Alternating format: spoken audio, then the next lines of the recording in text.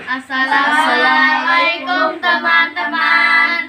Hari ini kita akan menguji kemampuan tanah dalam menyerap air. Bahan-bahan yang diperlukan adalah dua botol bekas, satu baskom, empat gelas air semen, pasir dan tanah. Botol yang A diisi pasir dan tanah. Isi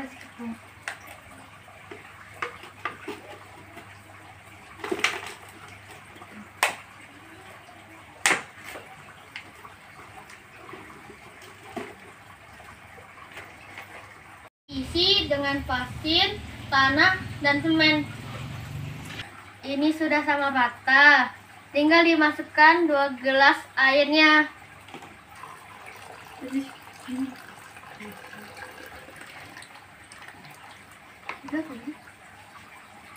Satu.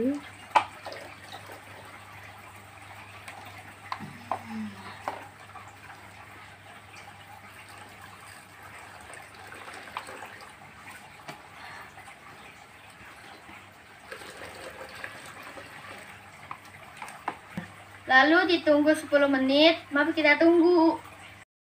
Bagaimana keadaan air pada botol A?